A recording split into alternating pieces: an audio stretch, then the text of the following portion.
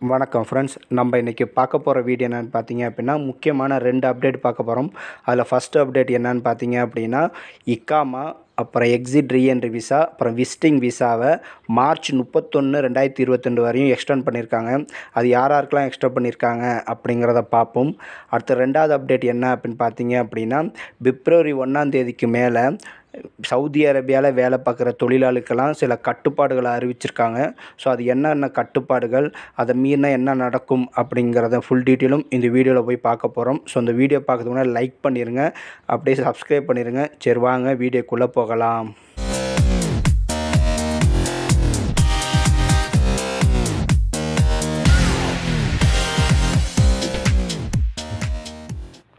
Welcome to Saudi MLP அதாவது Saudi அரேபியாவில் ஜவஜாட் வந்து ஒரு முக்கியமான ஒரு அப்டேட் ஒன்று அறிவிச்சிருக்காங்க. அவங்க என்ன சொல்லியிருக்காங்க அப்படின்னு பார்த்தீங்க அப்படின்னா யார் யாரெல்லாம் சவுதியை விட்டு வெளியில் இருக்காங்களோ அவங்களோட இக்காமாவாக இருக்கட்டும் இல்லாட்டி எக்ஸிட் ரீஎன்ட்ரி விசாவாக இருக்கட்டும் இல்லை விசிட்டிங் விசாவாக இருக்கட்டும் இது மூணுமே எந்த ஒரு ஃபீஸும் இல்லாமல் மார்ச் முப்பத்தொன்று ரெண்டாயிரத்தி இருபத்தி ரெண்டு வரையும் அதாவது ஜனவரி ரெண்டாயிரத்தி இருபத்தி ரெண்டு வரையும் ஆட்டோமேட்டிக்காக நீட்டிக்கப்படும் அப்படிங்கிற மாரி ச ஜவஜார் தரப்புலேருந்து ஒரு அப்டேட் கொடுத்துருக்காங்க.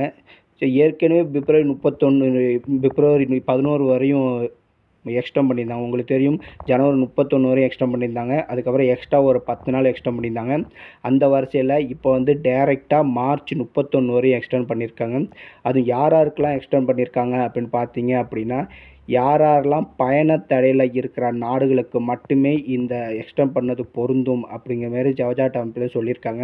ஸோ அப்போ நம்ம இந்தியாவில் இருக்கோம் ப்ரோ நான் இன்னும் வரலை. எனக்கு இக்காமா இந்த எக்ஸ்டேஷன் விசா எல்லாம் எக்ஸ்டெண்ட் ஆகுமா அப்படின்னு பார்த்தீங்க அப்படின்னா உங்களுக்கு ஆகிறது ரொம்ப ரொம்ப கஷ்டம்தான். ஆக வாய்ப்பு இருக்காது. ஏன்னா பயணத்தடை வந்து இந்தியாவுக்கு இல்லை. அது எப்போயோ ஓப்பன் பண்ணி விட்டாங்க.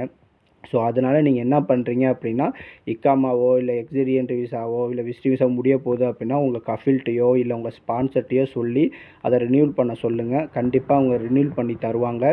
ஏன்னா ரினியூல் பண்ணுற ஆப்ஷனும் இப்போ ஆப்ஷனில் வந்து ஓப்பனில் தான் இருக்குது நான் அவரை செக் பண்ண சொன்னீங்க அப்படின்னா செக் பண்ணி தருவாங்க. உங்கள் கமெண்ட்டை இன்ஃபார்ம் பண்ணுங்கள் அது மட்டும் இல்லாமல் இது இந்தியாவுக்கு பொருந்தாது அப்படிங்கிறத எப்படி சொல்கிறோம் அப்படின்னு பார்த்தீங்க அப்படின்னா ஏற்கனவே பயணத்தடை நாடுகளில் உள்ள மட்டும்தான் பொருந்தும். அதனால தான் சொல்கிறோம் ஓகேலா இது ஃபஸ்ட்டு அப்டேட்டு ரெண்டாவது அப்டேட் என்ன அப்படின்னு பார்த்தீங்க அப்படின்னா பிப்ரவரி ஒன்றாந்தேதிக்கு மேலே சவுதி அரேபியாவில் வேலை பார்க்குற தொழிலாளர்களுக்காக சில கட்டுப்பாடுகளை கொண்டு வந்திருக்காங்க. அவங்க என்ன சொல்லியிருக்காங்க அப்படின்னு பார்த்தீங்க அப்படின்னா ரொம்ப சிம்பிளாக சொல்லணுன்னா பிப்ரவரி ஒன்றாந்தேதிக்குள்ளே நீங்கள் பூஸ்டர் டோஸ் போட்டிருக்கணும் அப்படிமாரி சொல்லியிருக்காங்க.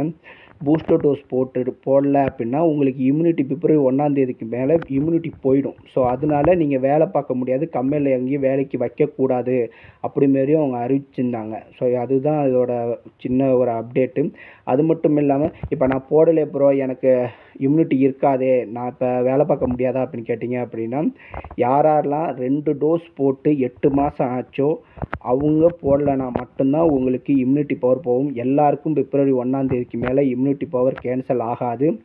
யாரெல்லாம் ரெண்டு டோஸ் போட்டு எட்டு மாதம் முடிஞ்சிருச்சா? அவங்களுக்குலாம் இம்யூனிட்டி போயிடும். இல்லை ப்ரோ எனக்கு இப்போ நாலு மாதம் நடக்குது இல்லை மூணு மாதம் நடக்குது அஞ்சு மாதம் நடக்குது ஆறு மாதம் நடக்குதுன்னா உங்களுக்கு இம்யூனிட்டி போகவே போகாது. ஸோ அதை பற்றி பயப்பட வேண்டாம். நீங்கள் அந்த எட்டு மாதத்துக்குள்ளே பூஸ்டர் டோஸ் போட்டணும் ஸோ பூஸ்டர் டோஸ் போட்டுங்க. ஏன்னா அது ரொம்ப ஸ்ட்ரிக்டாக ஃபாலோ பண்ணப்படும் அப்படிமாரி சொல்லியிருக்காங்க. வந்து ஒரு ஒரு கம்பெனியாக செக் பண்ணுவோம்.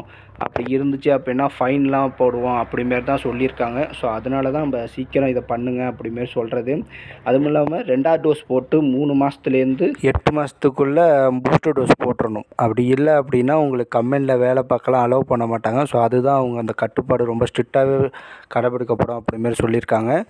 ஸோ தயவுசெய்து பூஸ்டர் டோஸ் போடாதுங்க போட்டுங்க. இந்த வீடியோ உங்களுக்கு பிடிச்சிருக்கும் அப்படின்னு நினைக்கிறோம். அப்படி பிடிச்சிருந்துச்சி அப்படின்னா லைக் பண்ணிடுங்க தேங்க்யூ